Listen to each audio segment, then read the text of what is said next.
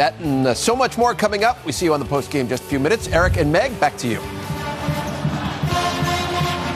Gary and Kara, thank you very much. Look forward to hearing from you in just a little bit. 428 to go in the fourth quarter with UConn scoring a season high 115.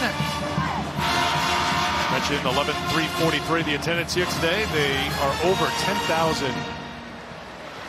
And it's you know, a big part of it is these afternoon games. Auriemma has said that once or twice before that fans turn out.